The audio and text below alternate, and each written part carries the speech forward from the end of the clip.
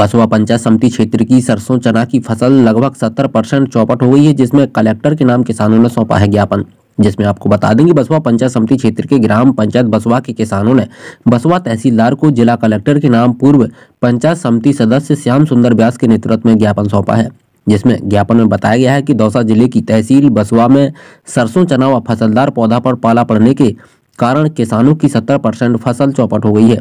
जिसमें तीन चार दिन पूर्व शीतलहर के कारण बसवा क्षेत्र में पहले से ही पानी की विकट समस्या है और इसके बावजूद जो किसानों की सरसों, चना आदि की फ़सल बुआई की गई है, उसमें पाला पड़ जाने से स्थानीय किसानों के चेहरे मायूस हो गए हैं। वह किसानों की स्थिति बड़ी दयनीय हो गई है।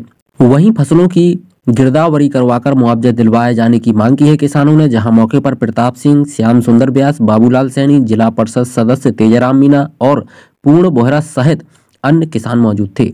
वहीं बसवा तहसीलदार ओम प्रकाश गुजर ने इन किसानों को आश्वासन दिया है। यहाँ तहसीलदार जी को ये ज्ञापन दिया है कलेक्टर साहब के नाम पर। अगर हम किसानों की जो सरसों की फ़सल है फलों की सब्ज़ी की जो फ़सल है टमाटर है बैंगन है अरहर है चने हैं सरसों है ये बिल्कुल नष्ट हो चुकी है।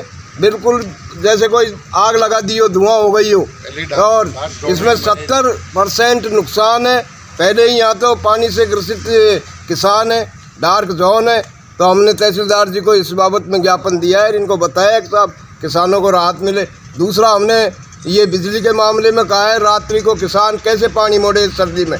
रात्रि को थ्री फ़ेज़ बिजली मिलती है A N J N phone नहीं उठाते। जे एन से कहता है तो मेरा ट्रांसफ़र करवा दो आप। ये उनकी भाषा है। तहसीलदार जी को भी बता दिया, हमने विधायक महोदय को बता दिया, कोई सुनता ही नहीं है। आपका नाम? श्याम सुंदर व्यास पूर्व पंचायत समिति सदस्य बसुआ। बसवा से नासिर पठान की रिपोर्ट।